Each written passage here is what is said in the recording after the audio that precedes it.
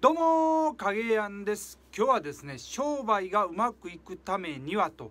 いうことについてお話ししたいと思います。え昨日のね、えー、晩ご飯なんですけどもですねあのー、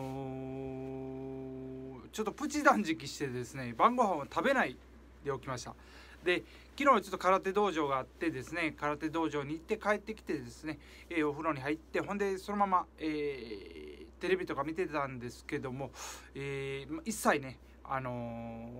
ー、食べないで。でまあまあ今日も食べんでもええかっていうようなこう気持ちになったんでちょっとプチ断食しました、えー、そうでなければですね梅干しらっきょ豆腐とちくわ、えー、これぐらいは食べようと思ってたんですけども、まあ、昨日の晩はまあこのままなんか寝られそうな感じがあったんでですね、えー、そのまま、えー、プチ断食ということで、食事を取らない、えー、で朝を迎えました。でちょっと寝不足気味かなっていうところはあるんですけどもそれでもね、えー、結構その気力はまあみなぎってるかなというところなんでまあこれでいいかなと。で胃腸も休ますことができたんで、えー、これはいいようにこうなっていくかなというふうに思っております。ということで今日の、え、商売がうまくいくためにはと。いうことなんですけども、え、この3つですね。3つあるかなと思います。一つはですね交換、え、交換を持ってもらうということです。そのそのお客さんに対してその交換を持ってもらう状態であると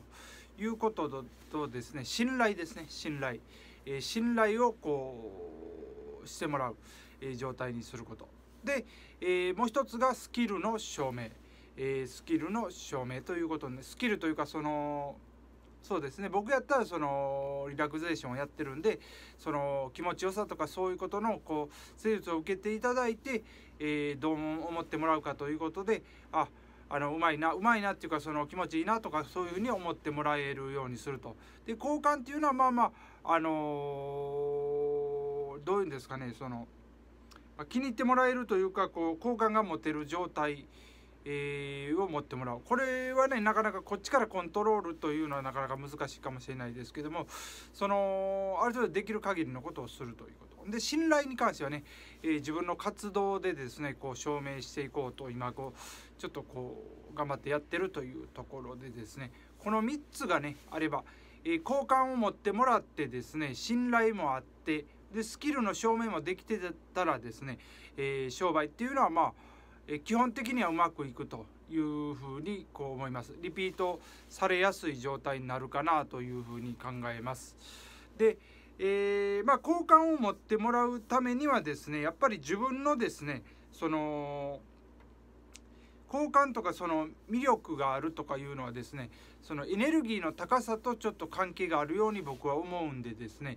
え、エネルギーを高くするということですね、え、その、え、活動をするということが結構好感を持たれる状態になるかなと思います。でまあエネルギーというとそのまあまあ運動をすることであったりとかですね、え感情のエネルギーであったり、えー、と、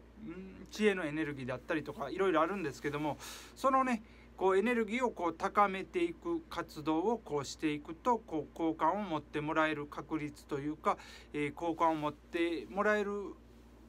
そうですね好感を持ってくれる人がこう出てくるようになるかなとやっぱりエネルギーが高いとこに人は集まってくるということになると思うんでそういうことが言えると思います。それで信頼に関してはですね自分がこうやってることをこう、まあ、有言実行することであったりですね、えー、すること。まあまあ、えー、こちら側をね見ていっていただかないとちょっとそれはしょあの分かりにくいんですけどもあのー、まあ自分有言実行もそうですしある程度その正直に言うというかその僕で言うとその体重がこう毎週測ってるやつをこうしっかりとそのほんまの数値を書くということもちろんほんまの数値書いてるんですけどもほんでほんまの数値を書いて自分がやってる内容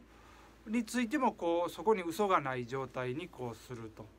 で、えー、他のことでもそうですけどもその嘘がない状態でこう気持ちであったりとかそういうものをこう嘘がないというと難しいですけども完全に100%本音で言うとなんかこう、えー、よろしくないこともあるかもしれないですけどもその辺はねこう臨機応変にいかないといけないですけども、えー、まあ、誠実にというかねそういうところがこう必要になってくるかな。でスキルの証明はね、えー、もう